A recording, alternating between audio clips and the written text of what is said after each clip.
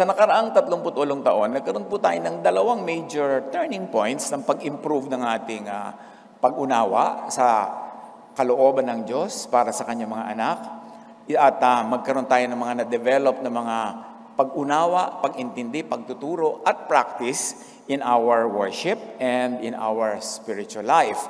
Isa dito yung na-develop nating konsepto at katuruan ng cultural redemption. Matagal na ating pinag-aralan, sinuri, at ang naging bunga ng ating uh, turning point on cultural redemption is palayain ang Filipino church sa pagkakakulong sa Western style of worship. At dahil pinalaya natin yung format ng worship, yung liturgy, maraming kakambal na kalayaan na sumama doon. Hindi lang kalayaan ng paggamit ng mga gong o ng mga rondalya, kalayaan din na mag-aral ng Filipinized theology. Yung maunawa natin ang mensahe ng Diyos na universal, not filtered through other cultures, but understood in the idiom, in the context, in the vocabulary of our own culture and expressing it also through our idioms, our vocabulary, our culture. Kalayaan yon, birthright ng bawat lahi sa mundo. Isa yon na major na turning point ng ating approach to ministry. Wala tayong pinalitan na major issue tulad ng si Jesus ay ating tagapagligtas, ang Espiritu, ang Ama at ang Jesus, uh, na anak niya ay isa, yung ating pananalig na iniligtas tayo sa pamamagitan ng biyaya at kagandahan ng loob ng Diyos sa sakripisyo at pagmamahal ni Jesus, walang iniba sa major na yon. Pinalitan lang natin yung approach to culture, pinalaya natin ang ating sarili sa pagkakabihag ng only exclusively Western style of worship. At dahil doon, marami mga lahi sa mundo ang nagkaroon din ng kaliwanagan tungkol sa bagay na yan. Ang inyong lingkod ay inaanyaya magsalita sa iba't ibang mga forum, mga seminars around the world at marami ding mga bayan ngayon na gumagamit na rin ang kultura nila sa pagsambahang kristyano, hindi bihag-bihag ng only Western format na uso nung araw. Yan ang isa, major development ng ating pag-unawa sa pag-apply ng salita ng Diyos, cultural redemption. At pangalawa, ay matagal na rin naman nating sinusuri, pinag-aaralan, pinagsasalusaluhan, at yun yung Jesusness. Dahil may mga nagtataka, bakit naman nagpalit ang day by day Christian ministries at ginawang Jesus ministries? Legally, Christian ministries pa rin tayo, Christian ministries pa rin po tayo. Wala naman tayong pinalitan sa legal name natin. Pero bansag lang natin yon nickname Kumbaga, pag tumatanda ka na ng konti, ang tanda mo na, ang tawag pa sa iyo ay neneng, kuminsan nagiging tita neneng na, you know, nagkakaroon ng konting adjustment. And so, tinatawag natin ngayon na Jesus Ministries dahil sa pag-aaral natin at sa nakanang labing walong taon, na-realize natin na halu-halo ang sinusunod ng Christians. Narong sumunod sa law, narong sumunod sa grace, narong sumunod kay Moses, narong sumunod kay Jesus, narong pinaghalo-halo, nagkakaroon mga confusion. At dahil tayo ay Christian, kailangan pa ba namang i-memorize na dapat nakafocus kay Christ? Kaya binigyan lang natin yun ng diin. Nilinaw lang natin na ang ating Lord ay si Jesus. Ang ating Savior ay si Jesus. At ang ating teacher, yung rabbi, si Jesus. Kaya nililinaw natin na lahat ng katuroan before Jesus came, And after Jesus, in the last 2,000 years of Christian history, lahat ng katuroan na yon, sasalain natin sa katuroan ni Jesus. Yung approve si Jesus, tuloy, gawin natin. Yung hindi na niya inapprove, yung pinalitan na niya, inupdate na niya, hindi na natin kailangan paghirapang sundin if Jesus already set us free from those laws. Kaya yun ang ibig sabihin lang naman ng Jesusness. Walang naiba na sinasamba ang ating Ama sa Langit in the name of the Lord Jesus. But now, we have a filter. Pag may nagtatalo-talo, nag-aaway-away ng doktrina, tulad ng babaeng nahuli sa pangangalo niya, gustong batuhin, according to the law, alam natin na hindi pinabato ni Jesus. Ang namayani ay Jesusness.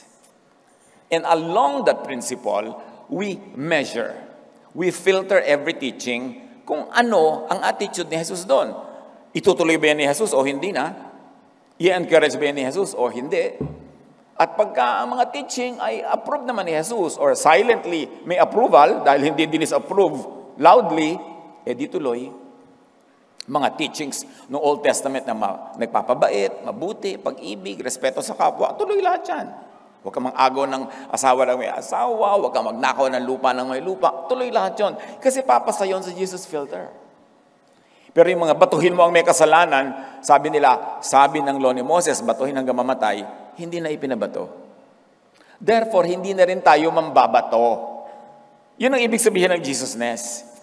Si Jesus ang standard, siya ang susundin. Meron tayong isang nilinaw na terminology na dati na nating nililinaw, pero ah, dalangin natin, nadagdagan ng kalinawan. Yun yung ibig sabihin ng maborn again. And we came to a conclusion that yung maborn again is to be born again from the law to grace. Ipanganak na muli mula sa pagiging nasa ilalim ng law hanggang napailalim ka sa grace and love. Yun ang ibig sabihin ng born again. Merong object, you are born again from to. From the law to grace. At ngayon naman, meron pang isang napakahalagang terminology na katuroan ni Jesus. Worship in spirit. Anong ibig sabihin to worship in spirit. Yung bumubula ang bibig mo, worship in spirit ba yun? Di ba? Yung inaakyat mo yung kortina, nakakarating ka sa kisame, worship in spirit. Ano ba talaga yan? Anong ibig sabihin ng age of the spirit?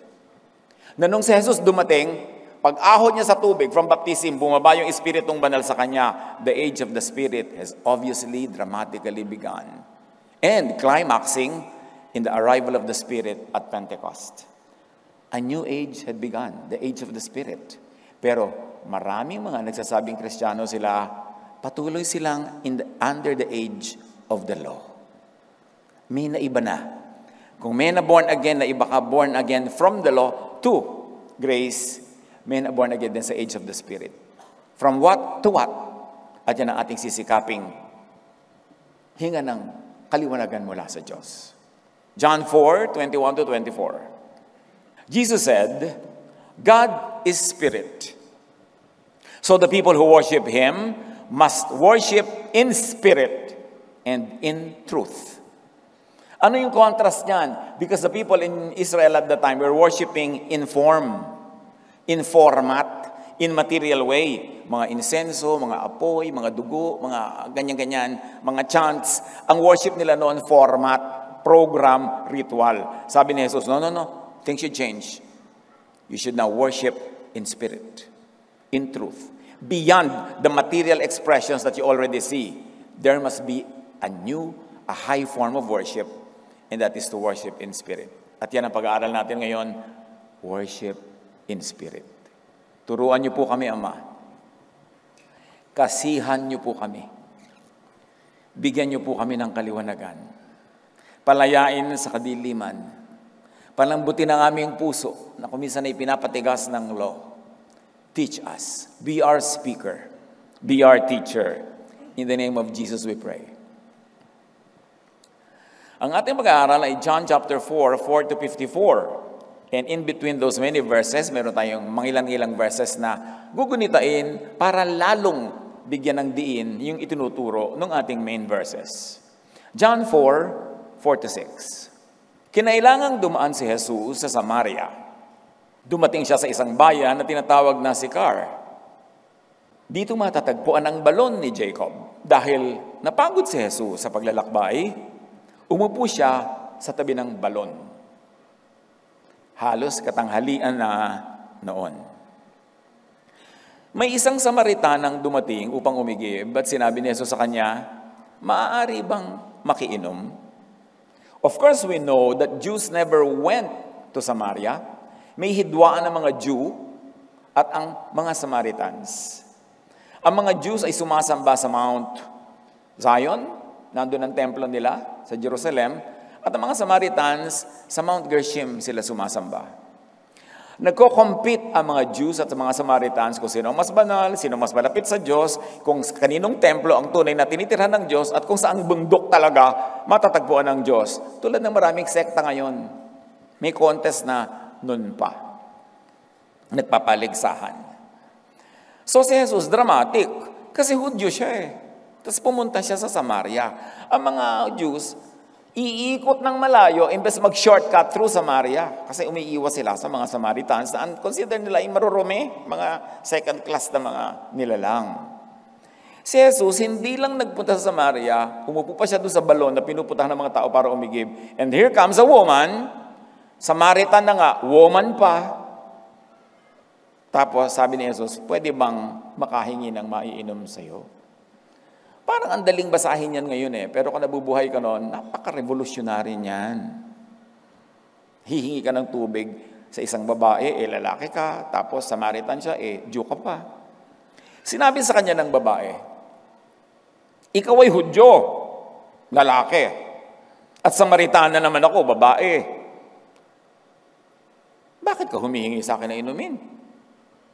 Sinabi niya yon sapagkat hindi nakikihalubilo ang mga Hudyo sa mga Samaritano. O kaya another translation which is equally correct, hindi gumagamit ang mga Hudyo ng pinggan o tasa ng mga Samaritano. In other words, sasalo kang babae ng tubig, ginagamit ang kanyang timba, hindi gagamit ang Hudyo ng timba na yon na ginagamit ng Samaritano. So sabi niya, paano kita bibigyan ng tubig? You are a Jew. I am a Samaritan woman. Why? Why, oh why, are you asking me, of all people, for a drink? So you see, tradition, history, race, gender define and confine thinking and behavior. At itong encounter na ito ay hindi lang tungkol sa ihingian ng tubig. Ang tunay na pinag-aaralan dito ay kung paano kinukulong ang isip ng tao. Paano kinukulong ng tradisyon, paano kinukulong ng doktrina, paano kinukulong ng kultura at ng mga gender assignments. Di ba? Jesus came to set free. Kaya talaga ang pag-uusapan dito, kulungan. Ano ba ang kulungan sa istoryang ito? Jesus sets free from these prisons and limits, which are really thoughts, mindsets, constructs in the mind. Ang tunay na kulungan ay hindi pader, hindi bato, hindi rehas. Ang tunay na kulungan ay isip. Kaya papalayain ni Jesus ang isip para lumaya ang katawan at ang lahat-lahat. John 4.10 Sumagot si Jesus, Kung alam mo lang ang kalooban ng Diyos, at kung sino itong humihingi sa iyo ng inumin, ikaw ang hihingi sa Kanya at bibigyan Kanya ng tubig na nagbibigay buhay. Kala mo naman kung sino ka, tubig mo lang dyan, may butete pa galing sa balon. Kung kilala mo lang ang humihingi sa iyo, hindi ka magsasalita ng ganyan eh. Sa akin kahingi ng tubig na hindi lang first class, but super, super class. Tubig na nagbibigay buhay. Sabi niya, I would give you living water. And this living water could be received only by an open mind, by a new mindset. Kasi paano ka nga hihingi eh kung yun lang tubig na yun, ayaw mong ibigay dahil meron kayong divide, cultural divide, religious divide. Sabi niya ganun, kung matatawid mo lang yung pader na yan ang utak mo, pupunta ka sa akin, hihingi ka, ang ibibigay ko sa iyo, tubig na nagbibigay ng buhay. Buhay na walang hanggan. Pero para mo makamit yon, dapat tumawid ka sa pader na yan. Dapat lumabas ka sa utak na yan para mo matanggap ang grasyang ito. The gift of God is freedom in and through Jesus, the Holy Spirit, freedom from confinement and limits set by the Jewish scriptures and law. Bakit pumasok ang Jewish scriptures and law sa usapan? Eh, yun naman talaga, nagli-limit sa kanila eh. Pati mga Samaritan are limited by their scriptures, by their laws. Yun ang nakagapo sila, napipigil sila, nakatali sila. Sabi sa Ephesians 2, 14 to 15, Christ gave His own body to destroy the law of Moses with all its rules and commands. Ang linaw. Sino man ang magsasabing sila'y alagad ni Jesus, sila'y nagtuturo ng katuroan ni Jesus, ay susunod sa ginawa ni Jesus na halimbawa. He destroyed the law of Moses that imprisoned people, that limited their belief, that limited their freedoms, that limited their very lives. Jesus came to destroy the law of Moses. Anybody who says followers sila ni Jesus, must do the same. Or must at least enjoy the freedom already given by the finished act of Christ, that is, destroying the law.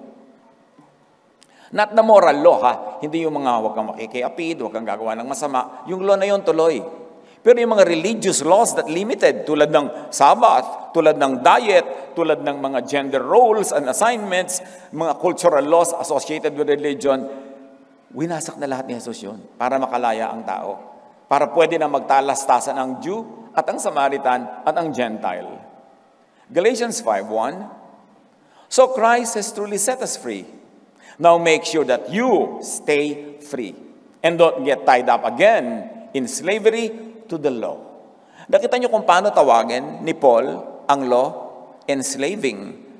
Sabi niya, pinalaya na kayo. Huwag na kayo magpapatali pang muli sa pagkaalipin sa mga batas na yan ng relihiyon ng Israel. John 8.36, So if the Son sets you free, you will be free indeed. And what part of our anatomy is set free by Jesus? Our brains, our mind, our mindset. Because really, there is only one true prison under heaven. That is the mind. Kaya ang mission ni Jesus, papagliwanagin yung isip, palayain yung isip. John 4.11, sa pagtutuloy ng kwento, nagsalita ang babae, ginoo, malalim ang balong ito at wala ka namang pansalok. Saan ka kukuha ng tubig na nagbibigay buhay? You have no tool and you cannot use mine because you're a Jew. I am imprisoned by that thought and so must you be imprisoned. So there can be no helping between the two of us because we are limited by our traditions, by our scriptures, by our religions. Ang issue is Jewishness race, religion as limitation. And actually, Jewishness, race, religion are issues of thought. Isip. Anong iniisip mo tungkol sa iyo? Shaped by your religion, by your race.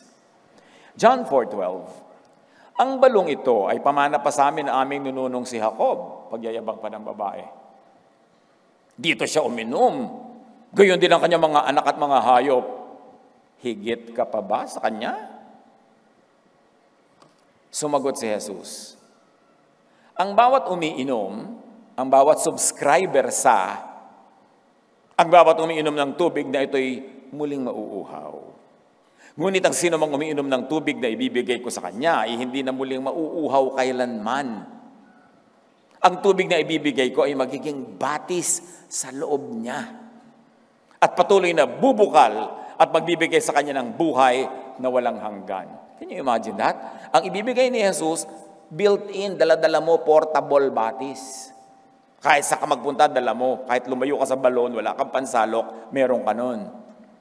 It becomes a fresh, bubbling spring within them, giving them eternal life. Everyone who drinks this ordinary water, sabi nga ni Jesus, subscribe to this religious idea and belief will never be satisfied and rested. Pag ipinagpilitan mo yung Samaritanness mo, Jew, aking Jewishness, pare-pareho lang tayong mamamatay sa uhaw. Walang masisyahan. Anyone who subscribes to this religious idea and belief will never be free from having to repeatedly need and draw from deep wells. Actually, malalim yung sinasabi ni Jesus eh. Beyond the water na pinag-uusapan nila. Springboard lang yung tubig na yun, pero pumupunta na sa ibang tubig ang usapan.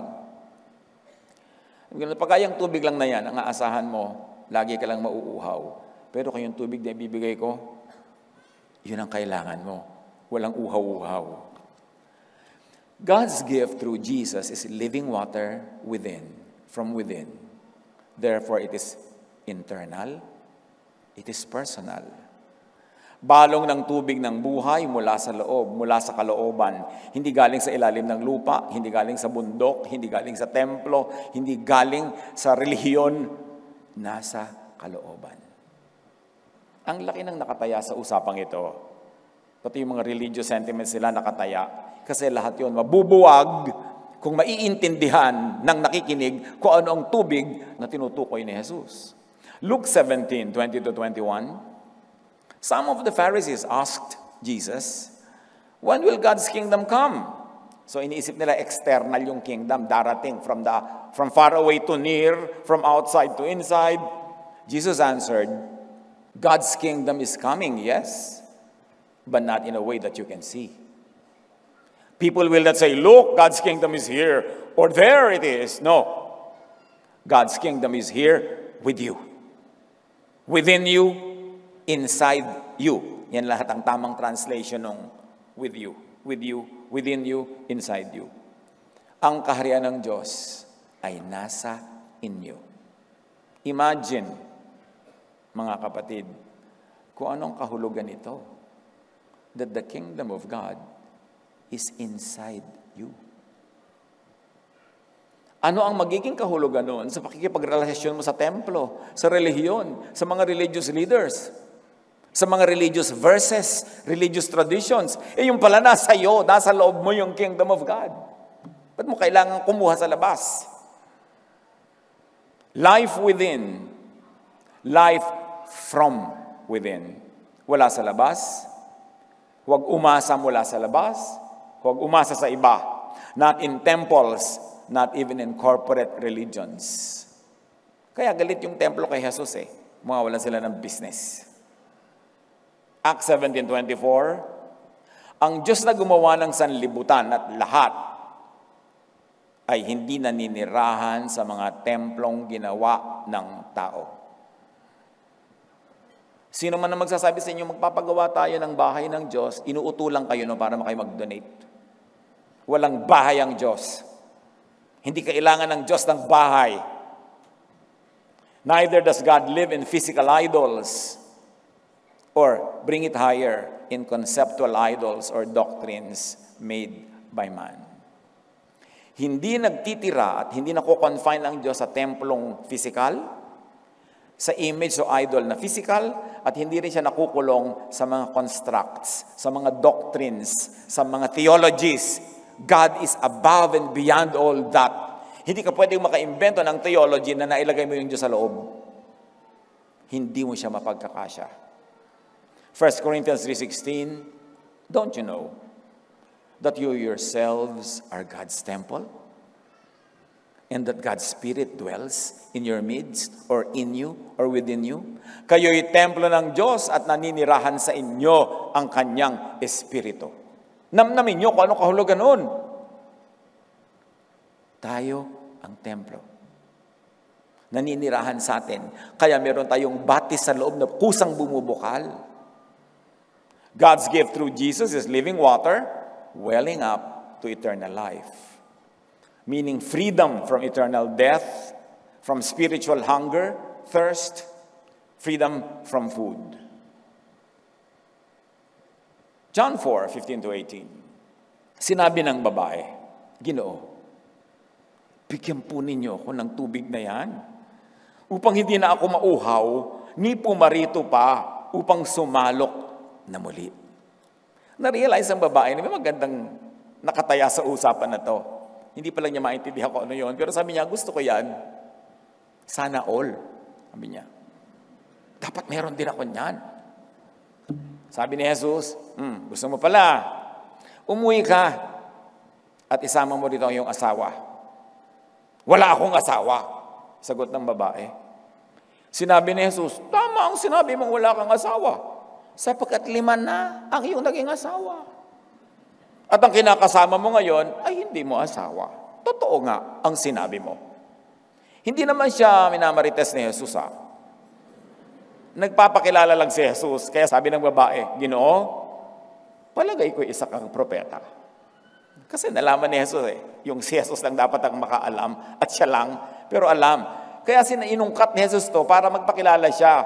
Alam ko nangyayari sa buhay mo. Alam ko kung anong dapat mong malaman at alam ko kung anong tunay mong kailangan. Kaya sabi niya, propeta yata kayo. Diba? The woman's need for water, also her other needs, Her needs for a husband or husbands were insatiable. Hindi masyahan, kaya nakakalima na. maganda yung metaphor kasi kahit isang drum na tubig ang makuha niya, isang vapor na tubig, hindi pa rin siya masisyahan. Kaya ginagawa ni Jesus yung parallelism. Yung tubig na yan, hindi ka masisyahan. Tulad ng hindi ka nasyahan sa mga lalaking nagdaan sa iyong buhay. Kasi hindi naman talaga yan ang kailangan mo eh. At yung ibibigay ko sa iyo, yun ang kailangan mo, kaya yun ang pag-usapan natin. Bini Jesus. Hindi naman siya sinusumbatan o sinusurot sa kanyang mga naging panlalalaki. Her means, her tools, meaning ordinary water, and husbands as well, do not truly satisfy are transient. So now, naihanda ni Jesus yung puso ng babaeng makinig. Kasi naungkat na niya yung pinaka-sensitive na bagay sa kanyang buhay na ngayon ay tinanggap na niyang propeta po kayo. Ibig sabihin, maniniwala ako sa sasabihin niyo. John 4.20, ibinalik na naman ng babae ang usapan sa hidwaan. Contest na naman. Dito sa bundok na ito, sumasambang sa Diyos ang aming mga ninuno. Ngunit sinasabi niyong mga Hudyo, na sa Jerusalem lamang dapat sambahin ng Diyos. Another paligsahan ng thought, ha? paligsahan ng doctrine, paligsahan ng utak. Our mountain, Mount Gershom, or yours, Mount Zion? Yun ang tanong ng babae. Our tradition, belief, laws, and doctrines, or yours? Alin ba ang superior? Kaya sabi niya, higit ka pa ba sa aming ninunong si Jacob na naghukay ng balon na to? John 4.21, sinabi naman ni Jesus, Maniwala ka sa akin. Darating ang panahon na sasambahin ninyo ang Ama, hindi, hindi nasa bundok na ito. Hindi rin sa Jerusalem. Ibig sabihin, mali kayo, mali rin ang mga Jew. Darating ang panahon na lalabas ang katotohanan, hindi naman talaga dyan sa ano naman sa dalawang bundok na yan dapat sambahin ng Diyos. Not on the Samaritan nor on the Jewish mountain, which also means not on the Samaritan or the Jewish tradition, beliefs, laws, and doctrines, not on the Samaritan and Jewish thought.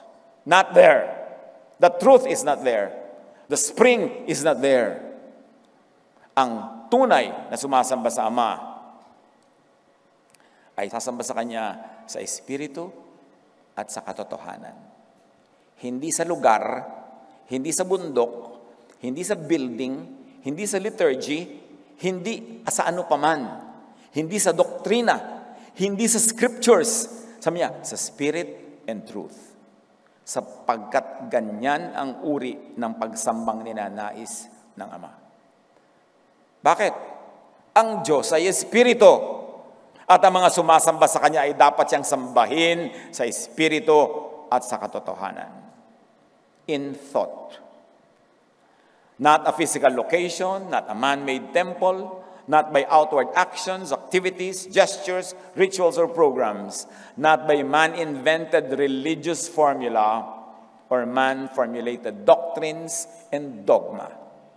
Not in, not by form, formality, and text, not in ignorance or falsehood. God is spirit, therefore God is word, thought, idea. Kaya si Jesus, in the beginning was the word. In the beginning was the idea, the thought, the concept. Ang usapan, nasa isip, wala dyan sa mga nakikita sa labas. And His worshippers must worship in the Spirit and in truth, in the Word, in thought, in idea. And if you like to bring it another level higher, worship must be done in spiritual impulses, vibrations, frequencies from within to the heavens into the circle of God. Dapat malinaw kung saan lumilipat. From within the person into the heart of God. Direct. Romans 8, 26. We are very weak.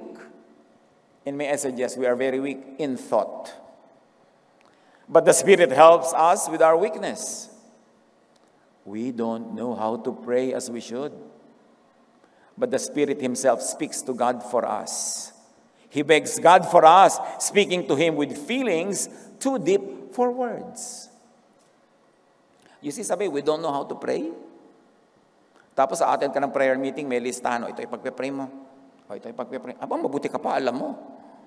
Kung ano ipagpe-pray, samantala sabi ng Romans, ang Espiritu, hindi nga tayo makapag-pray, magpe-pray na for us eh, in our behalf. Kasi hindi tayo makaspeak ng spiritual language at this present limitation. We don't know how to pray. Do not presume. Sabi ganon, but the Spirit prays for us. Speaking in God language to God for us who, does, who do not speak that language at the moment. So worship in spirit and in truth supersedes tradition, doctrines, and even religious scriptures. Tandaan nyo yan. Ang tunay na worship in spirit, lampas sa scriptures na written, sa doctrines na ginagawa ng mga tao, at sa mga tradisyon, lampas. Kasi kung hindi, edi alam natin how to pray. Eh, we don't know nga eh. Sa kabila ng karami-raming doctrine. Worship in spirit and truth defines, redefines, transcends, interprets, reinterprets, updates, and upgrades everything. Ang spirit ay hindi lang motif, hindi lang flavor. The age of the spirit changes everything in the dynamics between man and God. In prayer, in worship, revolutionary to buong superstructure papalitan. Hindi lang konting dagdag dito, change of color and motif there. Hindi ganoon ang pagdating ng spirit. Dapat merong malaking, malaking maiba. The teachings of the Holy Spirit and Jesus are beyond and above written, fixed, and fossilized religious texts. Hindi masama ang religious text. Ang daming natututunan. Hanggang ngayon, may mga universal values na matututunan. Pero while you are text-based, you must not be text-limited. Yun ang sinasabi ng age of the Spirit. Tapos na ang age of Scripture carved in stone. Dahil ibibigay na ng Diyos ang Spirito directly to people. Bypassing stone, bypassing temple, bypassing religions, direct to the hearts of people. Siyempre, ayaw ng religion yan kasi nawawalan sila ng franchise, nawawalan sila ng power, nawawalan sila ng control. Ayaw nila yan. Kaya galit sila kay Jesus. Listen and give priority to the Holy Spirit as teacher and guide above written and set religious texts. Kasi kung mayroong isang tunay na napakalaki ring kulungan, yun ang kulungan ng written text. Parang, Hoy, bakit ka mag-aadobo? Anong verse ang nagsabing pwede kang mag-adobo? Talaga, kulungan ko yung verse. Hindi ako talaga pwede magpaksiw dahil wala sa Bible yon. Eh, ang dami-daming tao nakakulong doon sa scripture, sa words. Eh, remember, ibinigay yan sa specific people, the Jewish people, at specific times in their history. Kaya kahit ngayon, iba na rin yung text nila eh. Hindi na yung nung unang-una pa, kasi naiba na rin yung culture nila. Yung mga laws, na iba-iba rin. Katulad ng mga laws ng bayan, pinapalitan, nagkakaroon ng constitutional amendments, ganun din ang Jewish law. Tapos ikaw naman, nakikibasa ka lang nung law na ibinigay sa kanila, hindi naman sa'yo. Ibinigay nung unang panahon, hindi naman ngayon. Tapos kung ano yung nababasa mo na ibinigay sa kanila nung unang panahon, yun ang gagawin mo ngayon. Eh di nakukulong ka. Kaya gusto ni Jesus, lumaya ka dyan. John 16:13, But when He, the Spirit of truth, comes, He will guide you into all the truth. Namnamin nyo to. Kausap dito ni Jesus, mga Hudyo na nakalubog sa law, ang daming law, ang daming scripture, ang dami-dami nilang mga alam, ang dami-dami nilang mga katuroan. Pero sabi ni Jesus, when the Spirit comes, He will guide you into all the truth. Anong ibig sabihin? Nung panahon pala na yon, in spite of the religiosity, wala pa pala, hindi pa pala all ang truth nila noon. Kasi kung all na yung truth nila, bakit pa sasabihin ni Jesus na when the Spirit comes, He will guide you into all the truth? So pagdating talaga ng Spirit na yon, may mga ituturo siyang wala dun sa body of truth na alam at pinaniniwalaan at pinapractice ng mga Hudyo. Ibig sabihin, when the Spirit sets you free, it sets you free from the confines of the Scripture. Yung mga hindi pa nila alam doon, di pa itinuro doon, itutupuro pa ng Spirit. So bakit mo ngayon ikukulong ang sarili mo doon, samantalang ilalabas ka nga doon para i-guide ka into all the truth. John 16:13, He will not speak on His own, He will speak only what He hears. So this is a direct message from God, not via official religious texts. Addressed to the new creation, the new person, the born again person, to the new mind, the new receiver. The mind is not a factory of thoughts.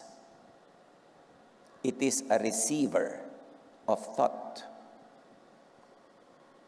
Kaya yung mind mo, pag na-born again, tumanggap kay Jesus, nagkaroon siya ng bagong frequency, nagkaroon siya ng bagong capacity to understand, nagkakaroon siya ng bagong capacity to understand messages from God, from the heart and mind of God. Napansin niyo ba kung minsan nagpa-problem solving kayo, isip kayo ng isip, hindi niyo naman ma-solve. Pero minsan, nagsasabon lang kayo, nagtatanggal ang mga libag-libag, biglang, pumasok yung solution sa utak nyo. Hindi niyo naman talaga inisip. Siyempre, wala namang kinalaman sa libag yun. Ang point, ipinagkaloob ang utak natin, kaya ibinigay yan ng Diyos, hindi para ka mag-isip sa sarili mo, para ma-receive mo ang sinasabi niya sa iyo ng buong linaw. Ang isip na yan, para makatanggap ng new message sa new age of the Spirit, kailangan siya maging new heart. Kaya sabi, I will remove your heart of stone and give you a heart of flesh. Kailangan ma-born again yung utak mo, mapalitan ng frequency, ma-upgrade ang kanyang mga specs para makatanggap siya ng mga leveled up impulses and messages. Mangyayari lang yon pag tunay kang born again. Nakakatanggap ka at tinatanggap mo ang mga katuroang labas sa dati mo nang alam, yung iba, kabaligtaran ng dati mong alam. Kasi kung si Jesus darating para lang ulitin niya yung dati nang alam, wala naman siya idadagdag, walang iibahin, ba't pa siya dumating? Sayang naman yung pagod niya. Kaya siya dumating para palayain ka doon sa mga dating kulungan ng isip na yan at bigyan ka ng bagong mind, bagong thought, bagong spirit. At binigyan ka rin ng bagong command. Ipinalit sa lahat ng laws, isang command, love. You see, Jesus is about change.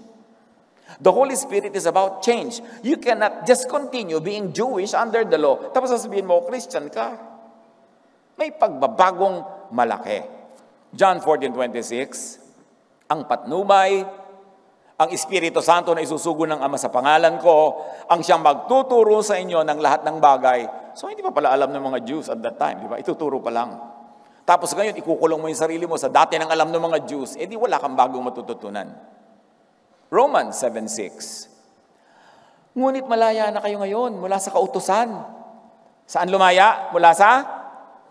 Kautusan. Tatandaan nyo kung saan lumaya. Na born again from the law. Ngunit malaya na tayo ngayon mula sa kautusan dahil namatay na tayo sa kasalanang dating umaalipin sa atin. Ibig sabihin, namatay na si Jesus, parang namatay na rin tayo by substitution. Hindi na tayo tatabla ng mga kasalanan na yan dahil namatay na tayo. Di ba? Pag namatay ka, yung utang di mo na babayaran, yung lahat ng mga... Dahil above the law ka na eh, lampas ka na. Ganon din yun. Namatay ka na sa kasalanan. Tapos yung iba naman ngayon, pinipilit ka pa rin patayin sa kasalanan, parusahan, pinipilit ka pa rin pagdusahin dahil nagkasala ka, eh namatay ka na nga sa kasalanan through Jesus. Ba't hindi naiintindihan yung turo na yun ni Jesus? Ngunit malaya na tayo ngayon mula sa kautosan dahil namatay na tayo sa kasalanang dating umaalipin sa atin. Kaya, tayo'y naglilingkod sa Diyos, hindi ayon sa lumang batas na nakasulat, yan yung scripture, kundi ayon sa bagong buhay ng Espiritu. Hindi na kayo limited sa written text. Lampas na tayo doon. Nandito na kayo ngayon sa hindi nakasulat sa batas na nakasulat sa inyong puso na ibinibigay ng Espiritu. But now, by dying to what once bound us, the law, we have been released from the law so that we may serve in the new way of the Spirit. Read with me aloud.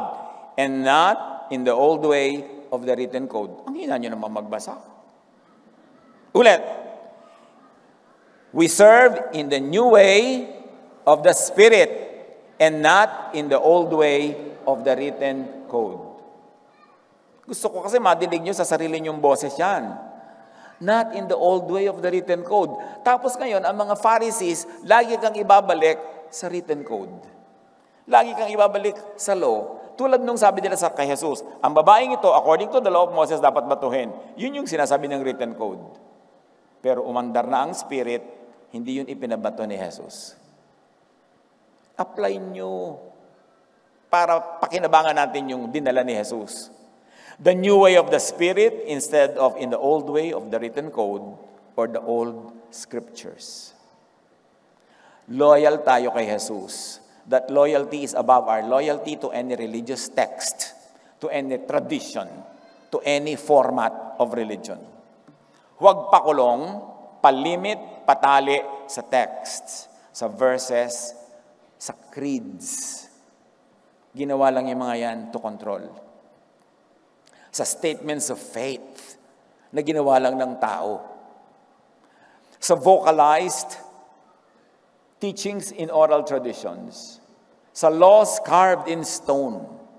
Yung hindi mapapalitan, nakauka sa bato Mamatay na tayong lahat, susundin natin kasi nakasulat sa bato.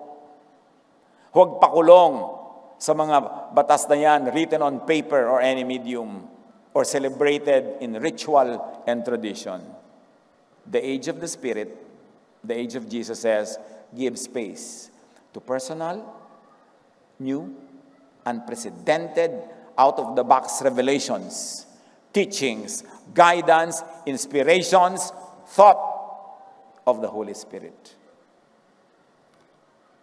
The Holy Spirit is teacher beyond, above traditional religious writings and verses. Huwag kayong pakulog sa mga taong, may, may verse pa, may basis ka ba dyan? Ang kama mo, bilog. Pati karte ng kama ko, hahanapan ko talaga ng verse, sister. Pero meron talaga gano'n na bubuhay. Kulong na kulong, wala ka nang pwede gawin kung hindi sinabi ng verse. Pinalabas ka na nga doon eh, para ka lumaya. Hindi ka naman pinalabas para magwala, para gumawa ng lahat ng mga kasamaan. No. Kundi para lalo kang bumuti. Para lalo kang maging katulad ni Jesus. At para lumaya ka, ma-enjoy mo yung buhay na ibinibigay ni Jesus. But when He, the Spirit of truth, comes, He will guide you into all the truth. He will not speak on His own. He will speak only what He hears. And He will tell you what is yet to come. Sa age ni Jesus, hindi ba sabi ni Jesus, and then the end will come. The end of the temple yon. The end of the age of the law will come. Pag sinabi ni Jesus at it will happen, I'll be with you until the end of the age. Hindi end of the planet yon. Hindi end of the world. End of the age of the temple. End of the reign of the law. I will be with you to usher you into the new age of the spirit of freedom and love. Hindi sapat sobrang manindigan at magmatigas sa mga traditional beliefs and practices. Hindi dapat. Kasi sabi nga ni Jesus, hindi pa yun all truth. Sabi niya, the Spirit will reveal to you all truth. So, ibig sabihin, yung body of knowledge sila at that time, hindi pa yun all. May kulang. The Holy Spirit will not speak on His own, unlike Israel's religious teachers, but speak even from a higher and the highest authority not from human institutions that they have, but from heaven. Tapos iignorin mo. Lahat ikukulong mo na naman sa verses. Walang nangyari. The Holy Spirit will speak of things the Israelites had not even heard before. From the religious authorities, traditions, and doctrines. So huwag pakulong sa isip, sa utak, sa belief ng ancient Israelites. Hindi tayo limitado sa naging limitasyon nila. Hindi tayo inuutusang ikulungan sarili natin sa mga naging kulungan nila. Dinala na ni Jesus ang mga Israelita to a new age of the Spirit and freedom. Tapos yun naman mga non-Israelites who were never under the law, nung naging Christian, doon pa nagsalim pusa, doon pa nagpailalim sa law. Yun nga mga Jews pinalaya na ni Jesus sa law, ikaw naman na hindi Jew, sasali ka pa. Ano ba naman yun? konting pag-iisip. Jesus teaches the truth unheard of by ancient Israel, far beyond what Israel had already heard, to be taught by the Holy Spirit, no less, coming from God directly, has yet to come, but was coming soon. Of course, that was said 2,000 years ago. Therefore, Israel and all believers had better be ready to hear new teachings. Israel and the non-Israelite believers of Jesus had better be ready to hear new things unheard of in the Jewish scriptures. Malinaw ba? Kailangan ready ka na makarinig ng bago, ng iba, ng nasa labas, ng kinaugalian ng Israel. Mark 1.27 Kaya nga pagdating ni Jesus, na obvious na yon. Ang lahat ay namangha, kaya't sila'y nagtanungan sa isa't isa. Paanong nangyari yun? Ito'y isang kakaibang katuruan. Yun ang reaksyon nila sa katuruan ni Jesus. Makapangyarihan niyang nauutusan ng masasamang espiritu at sumusunod naman ang mga ito sa Kanya proof of genuineness. You see, ang katuruan ni Jesus ay kakaiba, bago. Hindi repeat nung luma. Kaya kung ikaw, tunay kang nananalig kay Jesus, huwag kang matakot sa bagong karunungan, sa bagong kaalaman, dahil yun talaga ang dala niya. Hahanguin niya ang Israel sa mga lumang kaalaman na nagkukulong sa kanila. Therefore, Israel had better be willing to obey, to hear new teachings, and able to change their minds, their thoughts, their beliefs. Ang tunay na conversion ay hindi nagpabautismo lamang. Hindi nag-join ng isang church lamang. Ang tunay na conversion is change of mind. About what? About the law. About God's love. From judgment to grace. From harshness to love. Dapat change of mind. Romans 12.2 Hayaan ninyong baguhin ng Diyos ang inyong pag-iisip upang maunawaan ninyo ang kanyang kalooban. Sa gayon, magagawa ninyo kung ano ang mabuti, kalugod-lugod, at ganap na kalooban ng Diyos. Ano daw dapat? Hayaan nating baguhin ng Diyos ang ating pag-iisip. Pag may binago sa isip, ibig sabihin may dating iniisip na iiwan at may bagong iniisip na pupuntahan. Yun ang pagbabago. Hindi pwedeng ipilit mo yung dati, basta walang gagalaw. Ano yan? Bonel? Uy, Natatandaan ng iba dyan, di ba? Walang gagalaw sa Yeye Bonel. So, ganun yung iba sa doktrina. Walang gagalaw. Ito na yung nakalakihan ko. Walang papalitan. Ito na yung una kong narinig. Walang papalitan. No. Sabi, hayaan yung baguhin ng Diyos ang inyong pag-iisip. Kailangan mag-change. Let God transform you into a new person. Willing ka dapat, no? And be able to change doctrines and practices from the old to the new. From the law to grace and love. From Mosesness and Phariseesness to Jesusness. Kaya ano nga, namamalata tayo lagi, kaji Jesusness, di ba? Para talagang malinaw. Kasi kahit anong gawin mo dyan, magtitiwari ka, magwo-worship ka, akyatin mo yung mga poste. Pero pagka hindi nagbago ang iyong isip about the law, under the law ka pa rin. Natatakot ka pa rin at mananakot ka pa rin ng iba. Hindi ka lalaya, hindi ka paghaharian ng Diyos. What changes in belief and thinking and practices does Jesus in John 16:13 teach and require? Especially of people who had earlier subscribed to traditional teachings that will now have to submit to new teachings that the Holy Spirit will reveal. Pag-isipan mabuti yan. Kailangan may pagbabago. May nagsasabi pa, nagbago ka na. Eh, dapat talaga, di ba? Dapat tayo nagbabago. Kailangan tayo magbago. Even Jesus grew in wisdom. Tayo pa ang hindi mag-grow. Alam niyo ibig sabihin ng growth? May na-outgrow ka, so you grow into something. So huwag kang matakot may ma-outgrow, may maiwan. Dapat yun. Kailangan yun. Jesus sets free from the bounds of written religious texts. Now, that is a major enlightenment. Ha? Kailangan natin pag-isipang mabuti yan. Hindi natin binabaliwala ang written religious text, pero hindi tayo nagpapalimit doon dahil merong leading ang Holy Spirit outside of it. Listen and give priority to the teachings of Jesus as teacher and guide above written verses. Si Jesus, ang dami niyang ginawa. Di ba may written verses? Wala ka dapat gagawin pag sabat. Ang dami nga niyang ginawa pag sabat. So, ibig sabihin, lumabas siya sa verses. Sabi ng iba, huwag kang kakain ito, huwag kang kakain ito. Sabi ni Jesus, kahit anong kainin mo, hindi maruramihan ang spirit mo. O, lumabas siya sa verses. Ang daming ginawa ni Jesus na paglabas. So, huwag kang pakulong. Sumagot si Jesus, ang umiibig sa akin ay tumutupad ng aking salita. Hindi salita ng iba, ng aking salita. Iibigin siya ng aking ama at kami pupunta at mananahan sa kanya. Paano ka daw pananahanan ng Ama pag pinahananahanan ka ni Jesus? Paano mananahan sa iyo si Jesus? Pag ikaw ay tumutupad sa kanyang salita. Hindi sa salita ng iba, sa salita niya. Kaya kahit sino pa man ang pinapakinggan nyo, pinopoon nyo, sinusunod, dali nyo muna kay Jesus. Ano sabi ni Jesus tungkol dyan? Kaya pinopoon nila si Moses. Sabi ng batas ni Moses, babatuhin ng babae hanggang mamatay. Yun ang pinopoon nila eh. Sabi ni Jesus, eh kung sinong walang kasalanan, di bumato. In effect, hindi niya pinabato. So, lumabas si Jesus sa salita na yun ni Moses, may bago na siyang kautosan. Okay, mambato dyan. Pag nambabato ka pa rin ngayon ng makasalanan, Moses-ness yan. Hindi yan Jesus-ness. At ano ibig sabihin? Hindi mananahan sa iyo si Jesus. Sinabi na nga niya eh. Pag sumunod ka sa aking salita, mananahan ako sa iyo, pati ang Ama. Kami mananahan sa iyo. Kaya hindi nakakapagtaka. Maraming nagsasabing Christian sila pero hindi nananahan ng Ama at ng Anak at ng Espiritu. Ibig sabihin, hindi nagahari yung pag-ibig, kapayapaan. Ang nagahari, galit, judgmentalism. Kitang-kita mo. Mark 1.27, The people were all so amazed that they ask each other, what is this? A new teaching. Inuulit-ulit ko lang at tinatagalog, ini-English-English, binabali-baligtad. Gusto ko pa nga sanang ibikol, pero hahaba.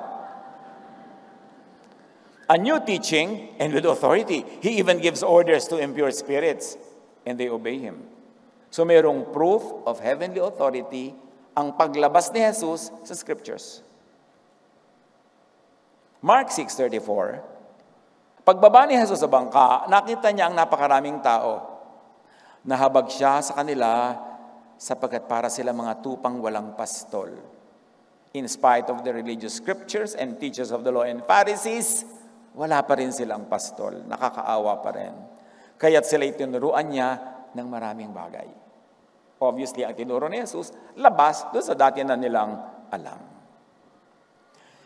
Jesus sets free from the bounds of traditional interpretation of scriptures. Jesus does not set free only from the texts. Jesus also sets free from the traditional interpretation of those texts. At marami siyang ginawa niyan sa New Testament. Basahin niyo mabuti. What Jesus teaches is not always equivalent to what the Jewish scriptures teach. It's very clear. See it in scripture.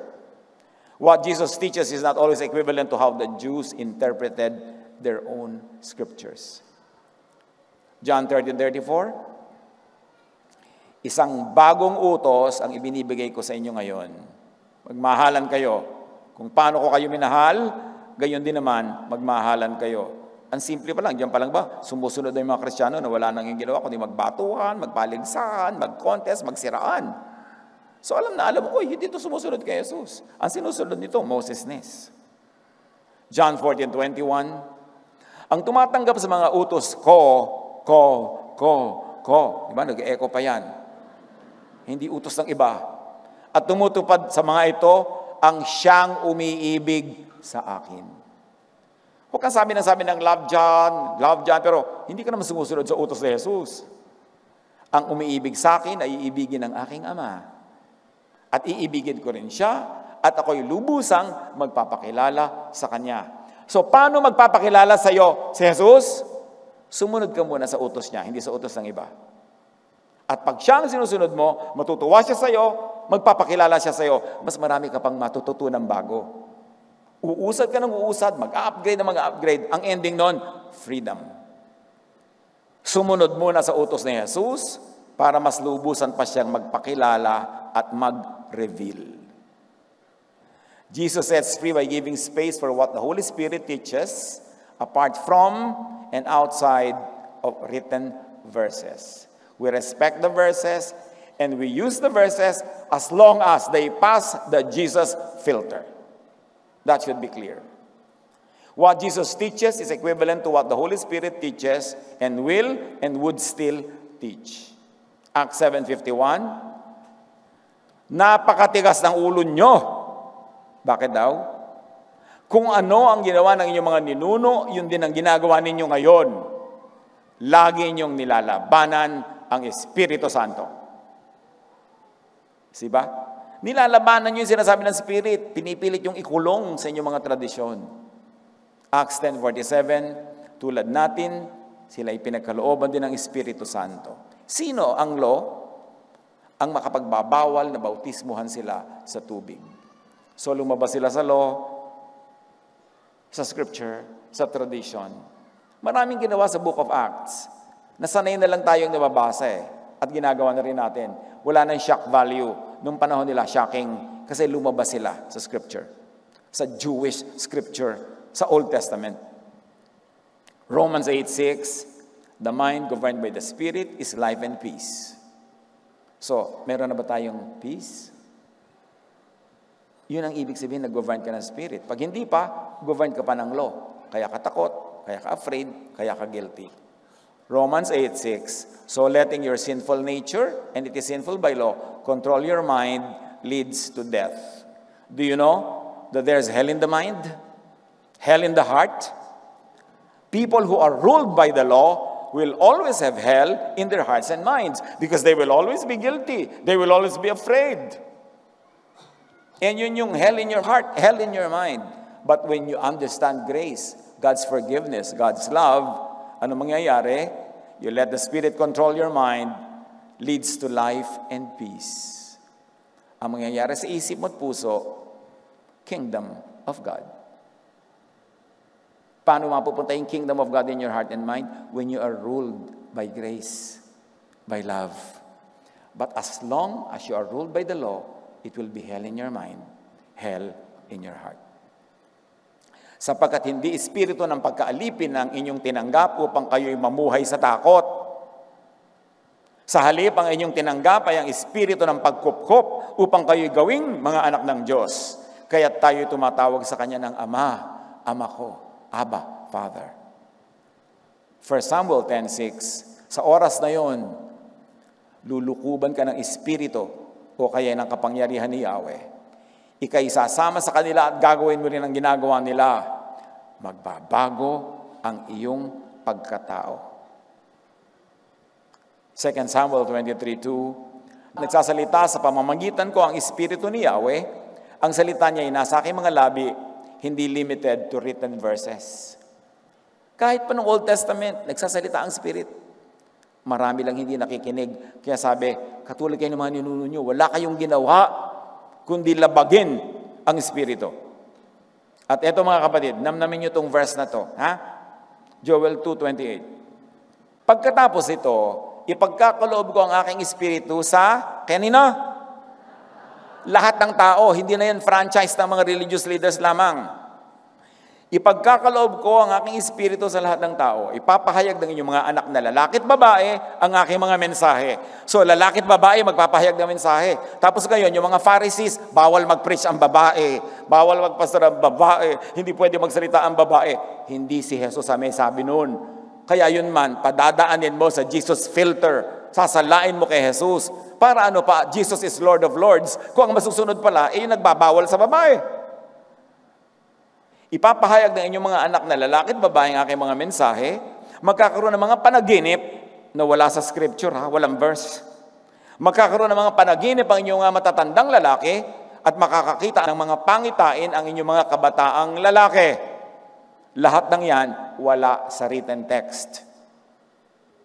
Outside of written religious texts. They will step out of tradition, of scripture, of the old mind.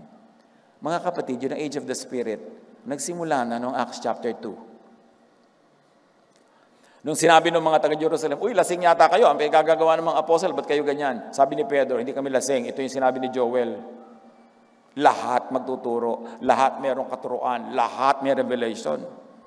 Pero siyempre, after Acts chapter 2, sinupress uli ng church yon, kinontrol uli ng mga pare, ng mga religious leaders, sila lang uli ang may karapatang magsalita. Nag-backslide actually ang Christian Church eh. Bumalik sa law. Kaya dapat palayain natin doon at dalhin natin talaga sa grace kung saan gusto ni Jesus na magpunta ang kanyang church. Luke 4.18, ang Espiritu ng Panginoon ay sumasa akin sapagkat hinirang niya ako upang ipangaral sa mga mahihirap o naghihirap under the law ang magandang balita ng God's love and grace above the law. Isinugo niya ako upang ipahayag sa mga bihag ng law na sila'y lalaya by grace at sa mga bulag dahil sa madilim talukbong ng law na sila'y makakakita. Isinugo ako upang palayain ang mga inaapi ng teachers of the law and Pharisees. Yung mga parenthetic expressions, suggested serving yon. But you know, when you really synthesize the readings, doon ka uuwi, doon ka pupunta. Romans 8, 2. And because you belong to Him, the power of the life-giving Spirit has freed you from the power of sin that leads to death. Sa pamamagitan ng kautosan ng Espiritong nagbibigay buhay, dahil sa pakikiisa natin kay Kristo Jesus, pinalaya na ako mula sa kautosan ng kasalanan at kamatayan. Jesus sets free by decriminalizing spirit-led breaking and stepping out of the law. Kasi alam nyo, kinicriminalize ng mga Pharisees yung pag-step out of the law. Pagka hindi ka na sa law, criminal ka na. Pagka may ginawa ka na hindi prescribed by the law, criminal ka na. No, Jesus sets free. Jesus decriminalized spirit-led breaking and stepping out of the law. As very, very graphically expressed, yung babae, hindi niya sinunod yung law, hindi niya pinabato. Galatians 5.18, salamat na lang, 50 pages na lang pala yung natitira sa notes ko. Okay. Lapit na to. Galatians 5.18, But if you are led by the Spirit, church, read, you are not under the law. Tiyakin nyo lang na Holy Spirit, baka naman Spirit of the glass yan, no? Marami naman mga Spirit of the bote, tiyakin nyo lang Spirit na Holy. Ibig sabihin, wala siyang ipapagawa sa inyo na hindi sangayon sa pag-ibig, kabutihan ng Diyos expressed in Jesus. Jesus pa rin yung filter. Para may protection ka rin kung ano-ano spirit ang maisip mo dyan. But if you are led by the Spirit, you are not under the law. Halimbawa, sabi ng napakahigpit na church, walang a-absent na Sunday school teacher. 52 Sundays a year. Dapat nandito kayo, bumiyak man ng lupa, kumidlat, di ba, magka-tsunami, magkaroon ng earthquake, magturo kayo dyan. Eh, eto ngayon yung lola mo, nagtatampo sa'yo, naglalambing, taga-malayo. Po, hindi mo na ako dinadala, wala nung na-born again ka. Led ka ngayon ng spirit, pupunta mo yung lola mo. Nalagihingalo na nga, di ba? Sasabihin mo doon sa iyong mahigpit na teacher, na superintendent, a-absent muna po ako sa Sunday, pupunta ako sa lolo ko. No! The Sunday is for God. Diba? The whole of it. Hindi lang one hour, one whole day. Yun yung law. But if you are led by the Spirit, you are not under the law, umabsent ka. Puntahan mo yung lola mo. Kasi inaalipin ka lagi ng church, kahit naghihingaluan ka mag-anak, ikakasal ang pinsan, ililibing ang lola, hindi ka pinapa-attend. Eh kahit naman magturo ka na magturo, pareho pa rin yung mga marites, hindi rin naiiba.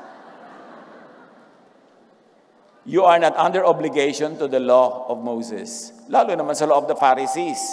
At lalong-lalo naman hindi sa law of modern-day Pharisees. Kung pinapatubayan kayo ng Espiritu, wala kayo sa ilalim ng kautusan. Paano po yan, Pastor? May picnic yung office namin, nandun yung gwapo. Sunday. O ano ba, kanino spirit ba yan nangungusap sa'yo? Di ba? E di makinig ka. Baka naman mapagsarhat ka na ng langit, e di umabisit ka ng isang araw. Ano ba naman yon? Magsasara ba yun, church, dahil lang pumarada ka sa harap ni gwapo sa picnic? Pero i-demonize siya ng mga Pharisees.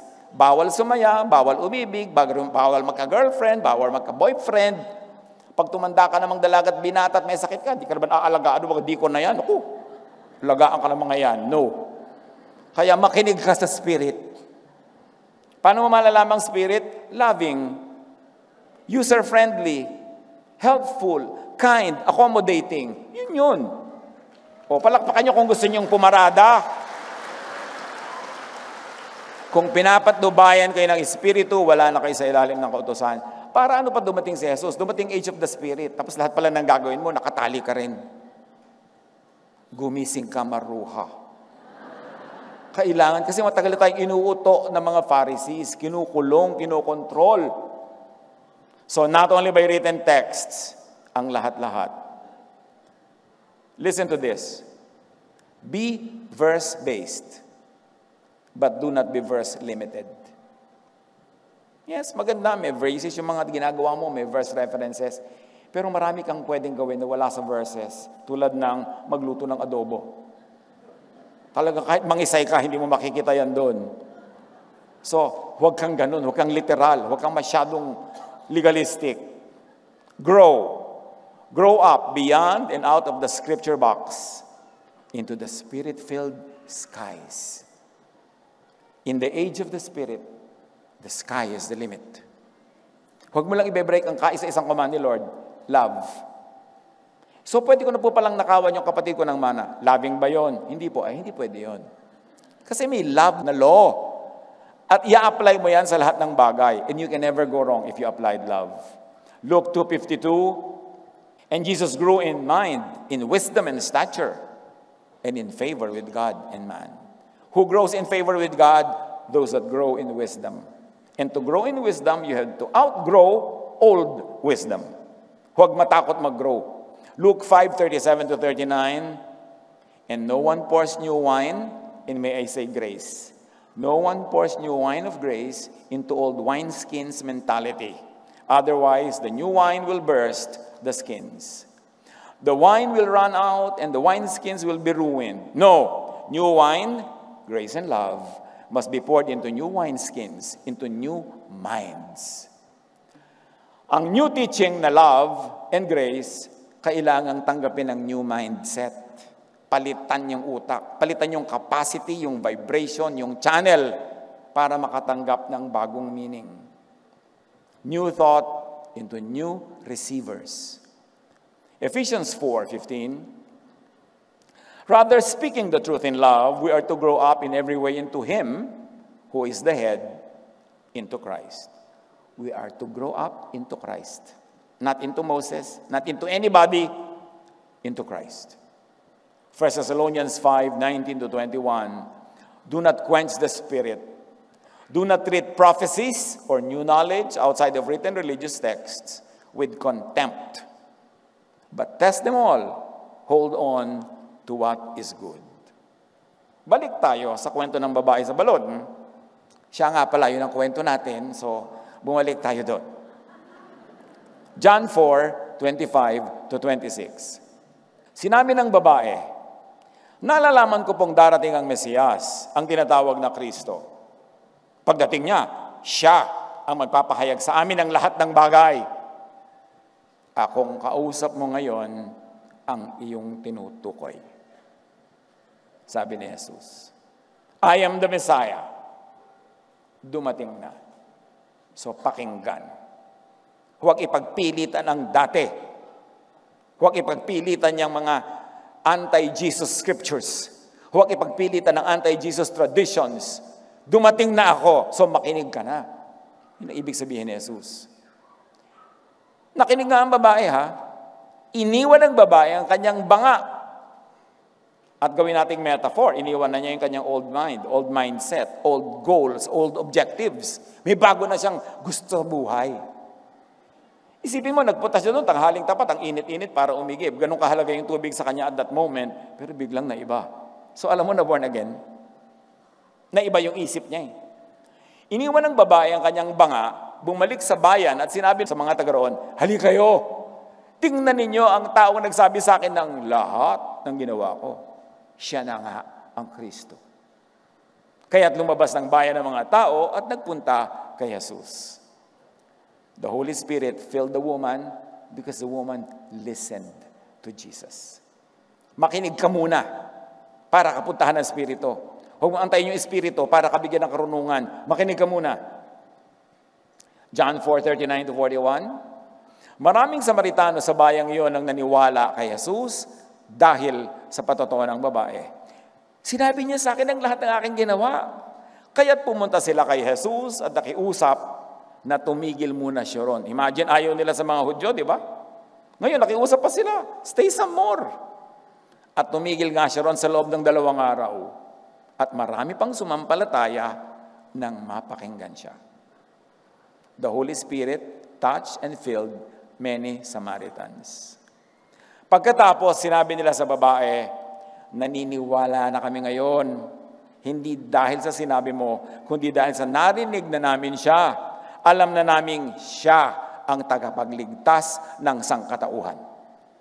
Hindi na lang siya tagapagligtas sa mga Hudyo o ng mga Samaritano, o ng mga Gentile ng sangkatauhan. Saan siya tagapagligtas? From the law. Yan ang itanim nyo sa utak nyo. Ililigtas ka from the law. Kaya huwag kang maniniwala sa mga taong ibinabalik ka sa law, ikinukulong ka sa law, inuusig ka by the law. Hindi yon alagad ni Jesus. Dahil inililigtas niya tayo from the law. Anong kahulugan niyan sa buhay natin na practical araw-araw? Sa pinaniniwalaan natin, sa itinuturo natin, sa ating asal, sa asal natin sa mga taong iniisip natin nagkakasala. Gusto mo ba lagi silang maparusahan? Lagi silang magbayad sa kasalanan nila? Hindi yan galing kay Jesus. Kailangan mabago ang isip natin tungkol sa sin, tungkol sa law, tungkol sa grace, tungkol sa love. Dahil pag hindi, hindi mananahan sa iyo si Jesus, hindi mananahan sa iyo ang Ama, akala mo lang. Tapos ang bumubukal sa bibig mo, judgment, galit, pronouncement of galit, alam na alam mong, aba, hindi nananahan sa iyo ang Espiritu. Pag-isip-isipan natin, Panginoon, turuan niyo po kami. Tulungan niyo po kami maunawa ito mabigyan ng very practical application sa buhay namin. At maging bunga nito, Panginoon, makalaya kami with a new mind, a new thought, a new spirit, at kami man maging agents of freedom, makapagpalaya rin kami sa iba. Pagbulay-bulayan natin sumandali ang kahulugan nito sa ating daily lives.